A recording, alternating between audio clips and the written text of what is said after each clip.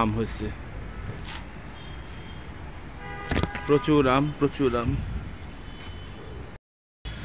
গতকালকে বৃষ্টিতে প্রচুর মানে টবের মাটি সব পড়ে গেছে। টবের মাটি পড়ে গেছে, ছাদের এই ফুটাগুলি যদি না খুলে দেওয়া হয়, কালকে একটা ভিডিওতে দেখলাম, একটা বাসায় ছাদের পানি ভরে একদম মানে লিফট সিঁড়ি সব উপচে মানে পানি পড়তেছে। ওইটা আবার ক্যাপশন দিয়েছে নায়াগ্রা ফলস ভিডিওটা। তো ছাদের, সবাই বৃষ্টি দিনে ছাদের এই পাইপগুলি পরিষ্কার করে রাখা উচিত।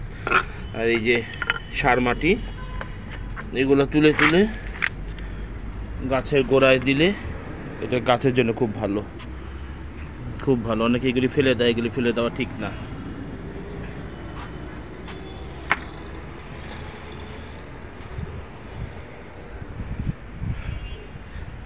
আমরা গাছে মানে প্রচুর আমরা হয়েছে, প্রচুর মাসাল্লাহ প্রচুর আমরা।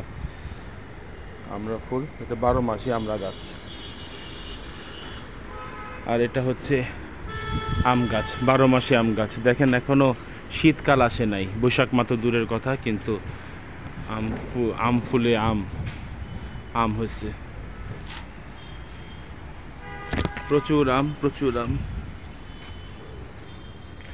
কি পলিথিন ব্যাগ আনো নাই? আচ্ছা আগে ধন্যা পাতা নাও ধন্যা পাতা নাও। তারপরে কেলাকুচ কেলাকুচ পাতা আছে, ওদিকে আমি যে কেলাকুচ পাতা, ওই যে ওদিক যে কেলাকুচ পাতাগুলো ছেড়ো।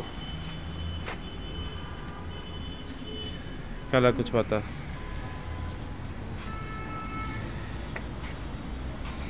এটা খুব বিখ্যাত এক ধরনের ঘাস জাতীয় গাছ হ্যাঁ?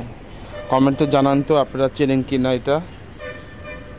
খুব মানে বিখ্যাত একটা গাছ এবং আমি বলে দিই আপনাকে, এটা স্যুপে ব্যবহার করে।